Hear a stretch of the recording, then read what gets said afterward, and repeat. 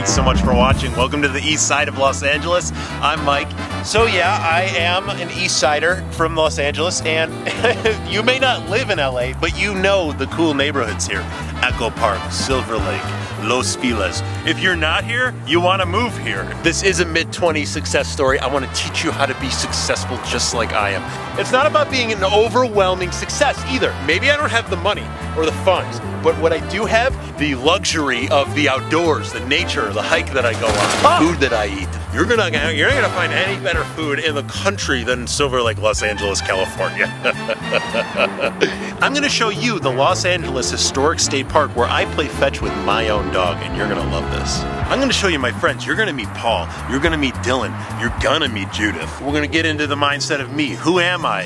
What's my what what what keeps me going? What I want to interview some of my old improv teachers. See how funny they thought I was in class. How much of a good improviser I was. Where they see me in five years. You're gonna meet my therapist who says the progress I'm making is woo.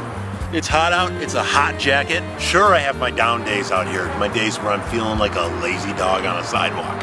You know, you're sitting in traffic in LA, you're on the 10, the 105, the 405. It can get in your head for sure. But the thing I gotta say is, just turn on a fucking podcast, dude. It solves itself.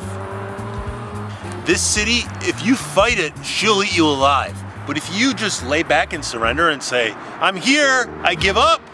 I drive for Uber, I choose my own hours. It's a good way to network. I am happy, and it did take me a while to get to this place where I do feel more calm, more centered. Let's focus on the good that we have, and that's why I wanted to make this series for you. This is a good city, and I want you to have fun watching me. No, I don't know what I want to do with my life yet. No, I don't know what job I'm going to have in the future. Uh, I am floating by with Uber right now. But let's not focus on that right now because that's kind of a waste of time. It's worrying about something that's in the future. I don't need to know what I need to do with my life right now at 26 years old.